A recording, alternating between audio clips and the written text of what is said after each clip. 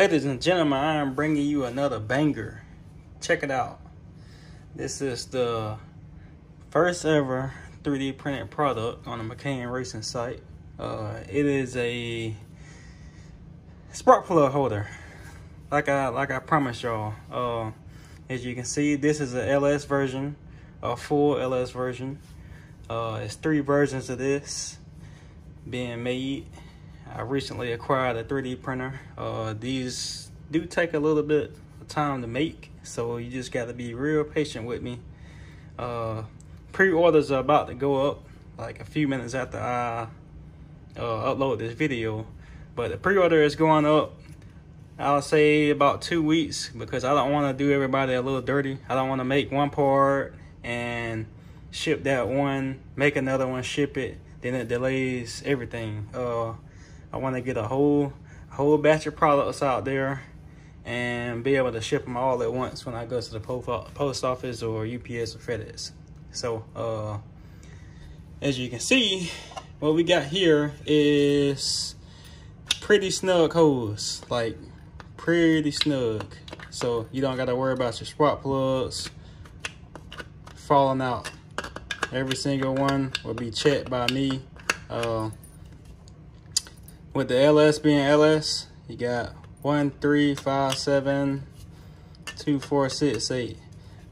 There is a Ford version of this. There is a Ford version. So what consists of the Ford version is uh four well, you know, be one, two, three, four, five, six, seven, eight.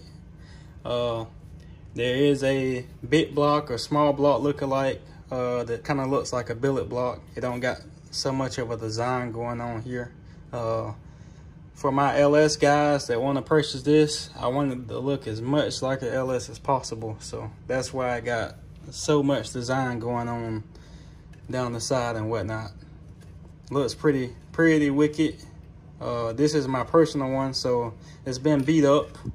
It's been beat up a little bit, scratched on and whatnot, but it's pretty, pretty nasty looking.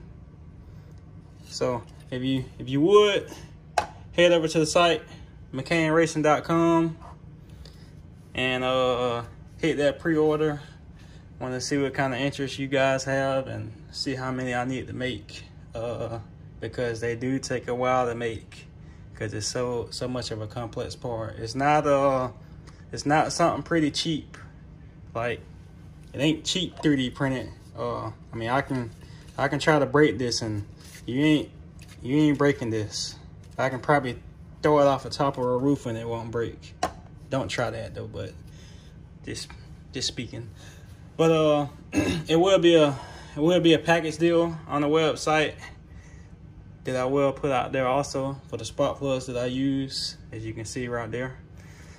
Uh and also my gapper. So package deal will be whole set of spark plugs, and the gapper. So head over to the site, mccainracing.com. Thanks for checking out the footage.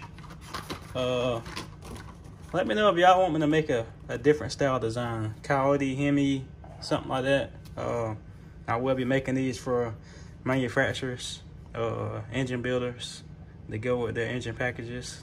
I can't say who, but stay tuned. Appreciate y'all checking out the footage.